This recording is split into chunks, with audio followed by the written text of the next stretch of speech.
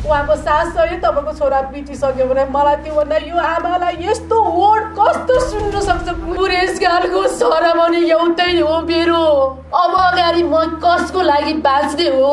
बाँच्ने मेरो आधार पनि छैन। यो पनि मेरो छोरा छैन भन्नुभयो। अब म के गरौँ? कहाँ जाउँ न डक्टर आउँछन् न नर्स आउँछन्। कोही मेरो अगाडि आएन। उनीहरू आफ्नै धुनमा उता छोरा भनेर त्यो घाँटीलाई यस्तो गर्दाखेरि? उसको नाक त सेतो फिस जस्तो आयो अनि अब मेरो छोरा त मैले फर्काउन सकिनँ तर यहाँ अबका अरू आमाका म जस्तो आमाका कसैको छोराहरू बिटो जुन त्यहाँ पैसा तिरेर मैले मेरो छोरालाई स्विमिङ गर्न पठाएको त्यो त्यो ज्यान चाहिँ नगुमाओस् त्यही भन्न चाहन्छु। मेरो छोराले नाकबाट सास फैलिरहेछ। आउनु न डाक्टर!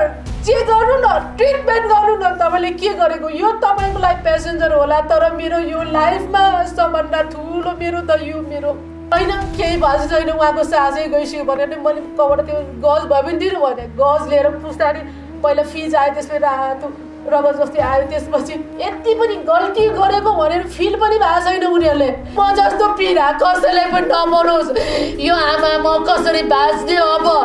एउटा केही छैन हात पेन्सिल लिएर आए पनि यो मेरो छोराको लागि भन्छु एउटा कपी ल्यायो मेरो छोरालाई कसैले चक्लेट दियो भने खाऊ भन्दा नि मेरो छोरालाई भनिदिन्छु अब त्यो मलाई केही मोह छैन। अब म सबलाई विनम्न अनुरोध अब दस औला जोडेर मेरो। यो मेरो पुकार मेरो वर्ड जनता सामु सबको अगाडि फैलाउनुहोस् न मेरो लाइफमा त अब मेरो छोरा त फर्केर त आउँदै नै छैन यस्तो नराम्रो मलाई भयो मैले जुन अब मैले कहिले काहीँ गएर पनि मैले पाउन सक्दिनँ मेरो बाबुलाई सुमी खेल्न सक्यो के गर्दैछ पठाइदिनु भन्नु खोज्दाखेरि होइन थोरै पानी खाएर यहाँ काठमाडौँ मोडेल हस्पिटलमा ल्याएको छु अहिले बाबुलाई अलिकति त्यसमा मलाई साह्रो भयो भने तुरुन्त उहाँको बाबा आर्मी हुन्छ एक्स आर्मी हो उहाँ आर्मी हस्पिटल लनु भने थियो होइन यहाँ ट्रिटमेन्ट भइरहेछ हस्पिटल गएँ त्यहाँ म त्यहाँ पुग्दा मेरो छोरालाई त एउटा फुटपाथमा बाटोमा फ्यालिरहेको कुकुर जस्तै न कोही छ त्यहाँ कोही छैन। एउटा बेडमा न केही पराएको छ त्यति सुमी कस्तो मेरो छोरा मैले मङ्गलबार घुमाउने घुमाएँ। म राजेश्वरी साकी मेरो छोरा रग्न साके हो। म पीडित छु। तपाईँहरूको सर सहायक सहयोग जरुरत छ। मेरो त कोही पनि छैन। जुन तपाईँहरूले अहिले मलाई यसरी साथ दिँदाखेरि मलाई अब केही होला जस्तो फिल पनि भइरहेछ। अब जुन मैले नेपाल प्रहरी महिला पुलिस क्लबलाई यस्तो राम्रो भनेर मैले भित्री मनदेखि नै कसैले विश्वास नगरेको मैले गरेँ तर मैले धेरै त्यहाँबाट मैले नराम्रो गरिने। यस्तो नराम्रो मलाई भयो। मैले जुन अब मैले कहिले काहीँ गएर पनि मैले पाउन सक्दिनँ। यो आवाज अब तपाईँको माझमा तपाईँहरूको यो जुन तपाईँहरूको साथले गरेर मेरो मेरो आवाज सबै नेपालमा जति छन् जनतामाथि सामु सबै जाओस्। अब मेरो छोरा त मैले फर्काउन सक्दिनँ तर यहाँ अबका अरू आमाका म जस्तो आमाका कसैको छोराहरू अकाल बिटो जुन त्यहाँ पैसा तिरेर मैले मेरो छोरालाई स्विमिङ गर्न पठाएको त्यो त्यो ज्यान चाहिँ नगुमाओस् त्यही भन्न चाहन्छु।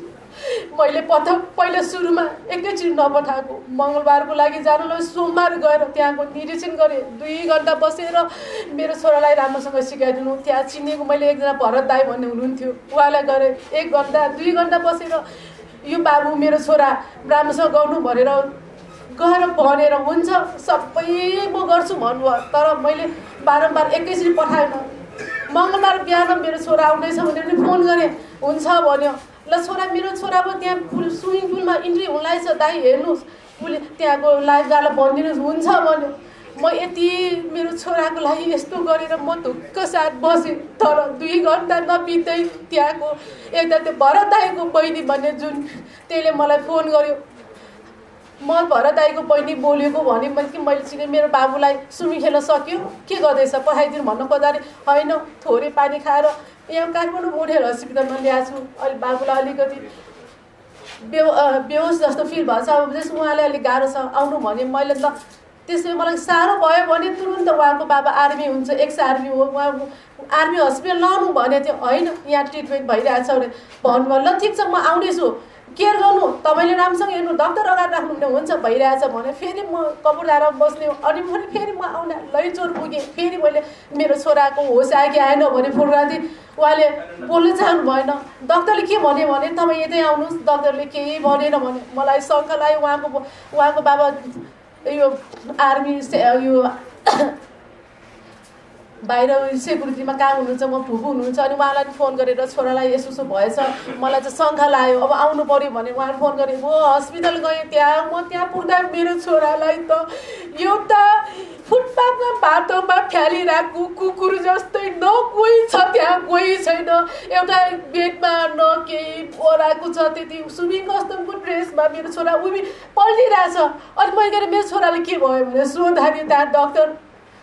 पहिला सुरुमा त आउनै चाहेन यसो पुलुक्कै हेऱ्यो पछि आउनु के भयो मेरो छोराले भन्नाले छैन अरे के छैन? भनेको उहाँको सास चाहिँ तपाईँको छोरा बितिसक्यो भने मलाई त्यो भन्दा यो आमालाई यस्तो वर्ड कस्तो सुन्नु सक्छ? कुन चाहिँ आमाले सुन्न सक्छ? तपाईँले ट्रिटमेन्टै गरिरहेको छैन। भर्खर मैले सुनेँ भर्खर म आइपुगेँ। त्यो फोन त्यो बहिनीले फोन गरेको आधी घन्टाभित्र म यहाँ आइपुगेँ। मलाई खोइ ट्रिटमेन्ट गर्नु भनेर भने तर न डक्टर आउँछन् न नर्स आउँछन् कोही मेरो अगाडि आएन उनीहरू आफ्नै धुनमा उता रिसेप्सनको ठाउँमा बसिरहेको छ मैले मेरो छोरालाई छोरा भनेर त्यो घाँटीलाई यस्तो गर्दाखेरि उसको नाकबाट सेतो फिज जस्तो आयो अनि मेरो छोराले नाकबाट सास फेलिरहेछ। आउनु न डक्टर चेक गर्नु न ट्रिटमेन्ट गर्नु न। तपाईँले के गरेको? यो तपाईँको लागि पेसेन्जर होला तर मेरो यो लाइफमा सबभन्दा ठुलो मेरो त यो मेरो सहारा हो मेरो यो बिना त मेरो जिन्दगी केही छैन मेरो एक्लो छोरो हो उन्नाइस वर्षको भन्दाखेरि होइन केही भएको छैन उहाँको सासै गइसक्यो भनेर मैले कबाट त्यो गज भयो भने दिनु भने गज लिएर पुस्दाखेरि पहिला फिज आयो त्यसपछि रातो रबर जस्तै आयो त्यसपछि मैले हार कुरा कराएँ साथीहरूलाई नजिकको साथीहरूलाई फोन गरेँ बोलाएँ उहाँको बाबा पनि पुग्नु भयो त्यसपछि अनि बल्ल बल्ल एकचोटि उहाँले के ट्राई गर्नु? म ट्राई गर्छु भने त्यहाँ हुँदैन भनेर होइन तपाईँको मलाई अह हुँदैन भने उहाँको आर्मी उल्लु म छाउनी हस्पिटल लान्छु भने म छाउनीको त्यहाँ त्यसपछि यतिकै लान मिल्दैन। डक्टर र एकजना नर्स जानुपर्छ एम्बुलेन्समा कृत्रिम के राख्नुभयो उहाँहरूले अनि लिएर गयो हस्पिटल पुग्दाखेरि। उहाँले ठिक छ मैले गर्छु यहाँबाट जति सक्छ मैले गर्ने काम गरिदिन्छु भनेर उहाँले ट्रिटमेन्टहरू के के गर्नुभयो भित्र। आर्मी हस्पिटल इमर्जेन्सीमा त्यसमा आएर उहाँहरूले पनि मेरो छैन छैन भन्नुभयो। अब म के गरौँ? कहाँ जाउँ बुढेसकालको पनि एउटै हो मेरो। अब अगाडि म कसको लागि बाँच्ने हो? बाँच्ने मेरो आधार पनि छैन। यही police club minor police club हिजो हामीले भन्दा उनीहरूलाई यति पनि गल्ती गरेको भनेर फिल पनि भएको छैन उनीहरूले। मैले सोद्धाखेरि न उसले जवाब गर्छन् केही भने छैन। अब तपाईँहरू हुनुहुन्छ मेरो साथमा। आम जनता मेरो त कोही पनि छैन। म एउटा साधारण व्यक्ति हो। तपाईँहरूको जुन यो सहयोग गरेर मलाई अब अगाडि तपाईँहरूले पुऱ्याउने काम हो। यति अगाडि सब जनताहरूको सामु पठाइदिनु कि मेरो छोरा मात्रै न जनताको अरू पनि धेरै छोराहरू बाँचोस्। यस्तो म जस्तो पीडा कसैलाई पनि नमरोस् यो आमा म कसरी बाँच्ने अब? एउटा केही छैन आधार। अब हिजोसम्म एउटा घरमा एउटा पेन्सिल लिएर आए पनि यो मेरो छोराको लागि भन्छु एउटा कपी ल्यायो मेरो छोरालाई कसैले चक्लेट दियो भने खाऊ भन्दा नि मेरो छोरालाई भनिदिन्छु।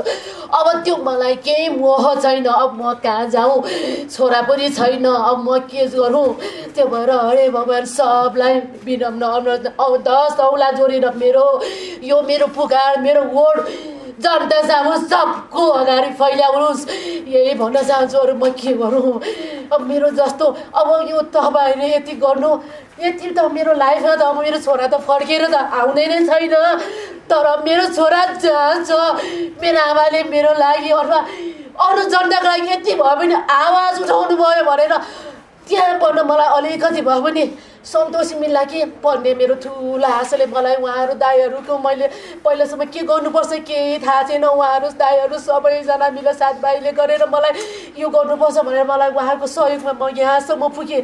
अब यहाँ चाहिँ बाद मलाई अब के गर्ने? तपाईँहरूले नै मलाई अगाडि लानुपर्छ। यति भने दुईवटा शब्द धन्यवाद छ सबैलाई। ल के गर्नुहुन्छ हजुरहरूकै हातमा छ। ल।